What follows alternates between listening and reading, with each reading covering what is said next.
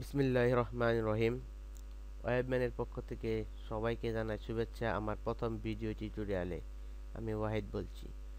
আমি আজ থেকে এসএসসি, আইসিটি বইয়ের বিভিন্ন বিষয়বস্তু নিয়ে আপনাদের সামনে হাজির হব। আশা করি আপনারা আমার সাথে থাকবেন। প্রথমে আমার পরিচয়টা দিয়ে নিই।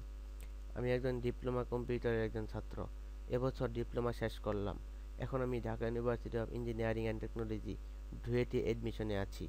আমি আমার সর্বোচ্চ দেওয়ার চেষ্টা করছি আমার সম্পূর্ণ ঠিক, আমার আসন্ন সিটটি ধরে রাখার জন্য। আপনারা আমার জন্য দোয়া করবেন।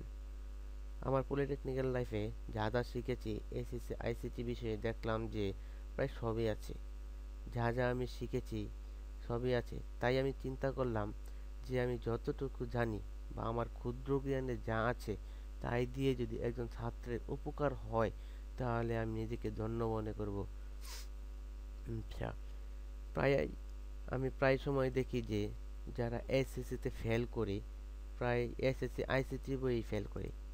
কারণ অনেকেই দেখি সে ক্লাসে ঠিকমতো যায় না, ভালো লাগে না, অনেকে বলে কঠিন লাগে, ইত্যাদি ইত্যাদি অনেক সমস্যায় বলে আমাকে। আচ্ছা ওরা যদি টিচারের ক্লাসগুলো যদি মনোযোগ সহকারে করে এবং টিচার কোন বিষয় নিয়ে আলোচনা করেছে সেগুলো যদি একটু ভালো করে প্র্যাকটিস করে, তাহলে ওই বিষয়ে ফেল করবে না বলে আমি মনে করি। এসএসসি আইসিটি মুখস্থ করার কিছু নেই। একটু ভালো করে বুঝে পড়লেই এসএসসি আইসিটি বিষয়ে ভালো ফলাফল করা যায়। আর যদি না বুঝে মুখস্থ করেন, তাহলে পাস করতে পারবেন, কিন্তু ভালো ফলাফল করতে পারবেন না। তাই ক্লাসে একটু মনোযোগ দিতে হবে। যদি আপনি ক্লাসে না যে, না বুঝেন, তাহলে বিভিন্ন ইউটিউব ভিডিও আছে। সেগুলো দেখলে কাজে দিবে বলে আমি মনে করি। আপনার প্রধান ফোকাস থাকবে ক্লাসের দিকে ইউটিউব ভিডিওর দিকে নয়। তাই মনোযোগ দিয়ে ক্লাস করবেন।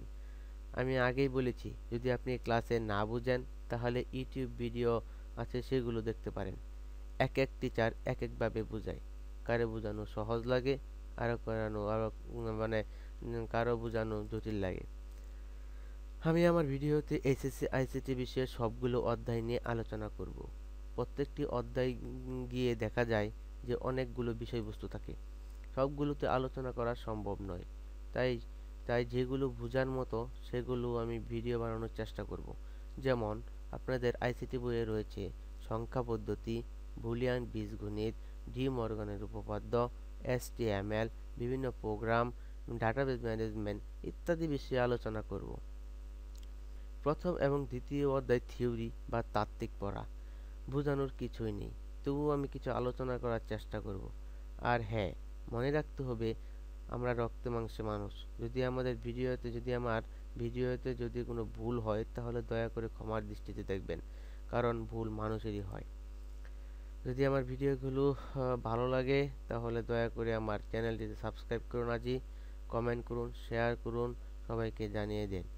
আজ আর নয় No, no,